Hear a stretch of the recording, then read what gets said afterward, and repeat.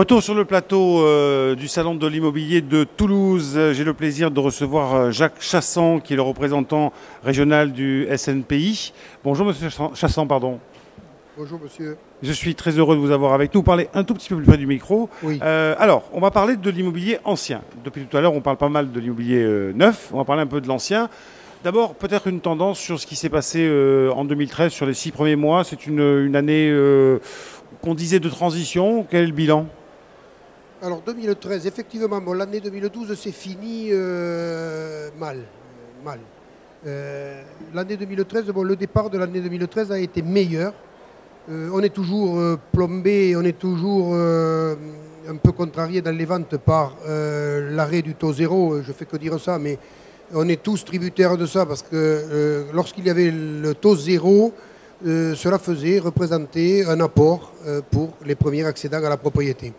Alors on a vendu, de toute façon les gens continuent à se loger, continuent à, se acheter ou à louer, mais c'est vrai qu'on est en train de passer une période difficile parce que les gens n'ont pas le moral.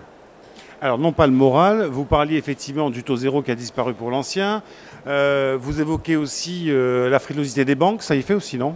Oui, les banques, dans la mesure où le taux zéro a été supprimé, les banques demandent un apport un apport. Euh, alors sur, sur, des maisons, par exemple, à 250 300 000 euros, les banques demandent 10%, entre 20 000 et 30 000 euros. Ces 10% étaient euh, produits étaient, euh, par le, fameux taux zéro. Dans la mesure où il a été supprimé, les gens n'ont plus d'apport et les banques ne prêtent plus. Alors quel conseil vous donneriez à, à des primo-accédants ou à des gens qui, voilà, qui ont du mal à franchir le pas? C'est difficile, c'est que où il faut qu'ils aient un membre de la famille euh, qui leur fournisse euh, les 10% d'apport, ou alors il faudrait que les pouvoirs publics remettent euh, en vigueur le taux zéro pour pouvoir redonner cet apport à ces personnes qui pourront racheter. Le taux zéro existe pour le neuf, mais le taux zéro n'existe plus pour l'ancien. Alors vous représentez, je le disais, le, SNPI, le syndicat national des professionnels de l'immobilier, qui est présent en masse hein, ici sur, sur le salon. Parlez-moi un petit peu de ce syndicat. Alors ce syndicat, c'est le premier syndicat français de l'immobilier qui représente environ 13 000 adhérents euh, sur le plan national, qui représente sur le plan régional 280 membres et sur le plan, euh, alors, sur le plan départemental 280 membres, sur le plan régional 300 ou 320 membres. Alors c'est un syndicat important. Euh, effectivement, bon, au niveau des pouvoirs publics, on essaye en permanence d'agir et de, et de voir, parce que quand on se rend compte de tout ce qui est prévu avec euh, toutes les lois que va sortir Madame Duflot, sans citer de nom, euh, je pense que la morosité va s'installer de plus en plus et il va y avoir de plus en plus de problèmes. Quand on voit euh, tout ce qui nous attend, je pense que les gens vont être de plus en plus plombés, de plus en plus sollicités et, ne pourront plus acheter. D'où l'utilité d'aider, d'accompagner vos membres, notamment sur des aspects, comme vous le disiez, réglementaires, évolution de la réglementation Alors au niveau du syndicat, pour pour les membres du syndicat, nous organisons tous les mois des réunions, euh, euh, sous forme de petits déjeuners avec des juristes qui mettent justement euh, en lumière toutes ces nouvelles lois qui sortent régulièrement et, tout le monde ne peut pas les connaître au fur et à mesure. Et il y a en permanence un réajustement sur ce plan.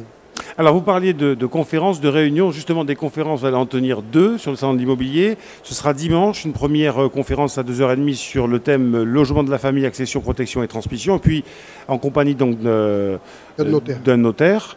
Et puis, euh, à 16h, les difficultés rencontrées dans l'ancien entre propriétaires et locataires en, compagnie d'un huissier cette fois-ci. Oui. On va s'intéresser, si vous le voulez bien, à la première thématique sur le logement de la famille, l'accession et la, et la protection et la transmission. La question centrale étant comment, quand on achète un bien ou des biens, si on a plus de moyens, ben, comment euh, assurer euh, la protection de ces biens euh, et puis sa, transmission, soit de son vivant, soit lors d'une succession. Hein. c'est le thème central. Oui, bon alors je ne peux pas trop rentrer dans les détails comme je vous ai dit tout à l'heure parce que c'est vraiment un problème technique de notaire. Hein. c'est vrai que ces réunions que l'on fait au salon tous les ans, ça fait deux fois qu'on l'a fait. Il y a beaucoup de monde, beaucoup de gens intéressés. C'est une réunion, bon, si les gens euh, apprennent ça, il faut qu'ils viennent dimanche après-midi. C'est des questions et des réponses. Alors au niveau de la transmission, bon, alors il y a l'acquisition, bon, on fait un sous-seing privé. Acheter d'abord, voilà. voilà. Alors il y a l'acquisition, on fait un sous-seing privé, on le fait chez un notaire ou on le fait en agence, avec diverses conditions suspensives, obtention du crédit, euh, euh, lever des hypothèques, etc. Et dans les deux ou trois mois qui suivent, euh, dans les deux ou trois mois qui suivent, l'acte authentique se signe. Quand l'acte authentique se signe chez le notaire, euh, tout est levé, il n'y a plus d'hypothèque, la personne repart de chez le notaire propriétaire. Et c'est à ce moment-là que la personne assure son bien et l'habite ou le loue. Et c'est peut-être à ce moment-là, ou pendant ou avant, qu'il faut prévoir effectivement, si c'est déjà d'un certain âge, la succession de ces biens. Mais quels sont les pièges? Alors pour les gens qui sont un peu âgés, mais pour les gens qui sont plus jeunes, quels sont les pièges à éviter quand on a acheté, quand on a l'acte authentique? Quels sont les pièges à éviter finalement? Bon, mais là, il n'y a pas beaucoup de pièges, à part que, bon, il y a les, les- les- les enfants, hein, qui sont les premiers héritiers, et puis après, les petits-enfants, etc., suivant après le degré. Euh, mais euh, les pièges, il n'y a pas grand piège. Euh, De toute façon, euh, moi je conseille, enfin on conseille, bon, c'est surtout les notaires, hein, on conseille à des gens âgés déjà euh, peut-être d'acheter dans un premier temps la maison et puis après de le donner en usufruit à ses enfants, de leur vivant. Si, alors il y a des abattements s'ils n'ont pas 65 ans, etc. Bon, moi je ne connais pas exactement Oui, les mais voilà, si on s'y prend trop tard, Voilà. après c'est trop tard. Comme Alors, on dit. Oui. par contre, voilà, l'intérêt, l'intérêt de tout ça, c'est de donner ses biens avant un certain âge pour avoir les abattements maximum. Et donc dans cette conférence, vous serez accompagné d'un notaire qui Ah oui, oui. pourra répondre à toutes les questions et les réponses. Donc je rappelle, c'est dimanche euh, 6 octobre Dimanche à 14h30. à 14h30.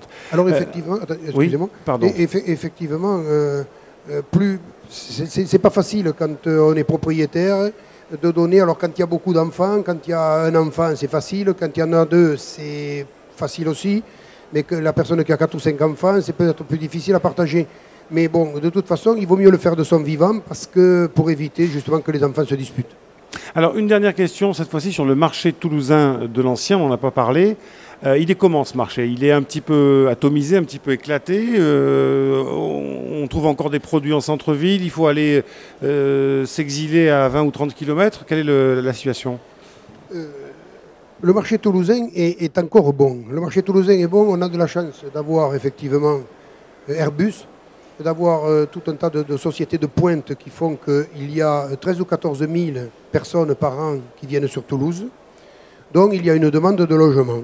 Alors dans le centre-ville, pour répondre au centre-ville, le centre-ville c'est le centre historique de Toulouse, c'est toujours euh, cher, non? prisé.